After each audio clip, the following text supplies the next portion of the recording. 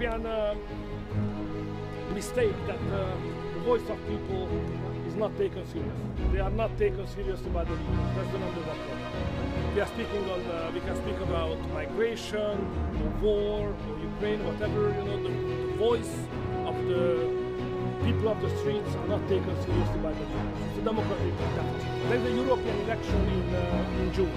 So we need a new European Parliament. We have to find new leaders who really represent the people. That's the only way out, may I say. Thank you very much.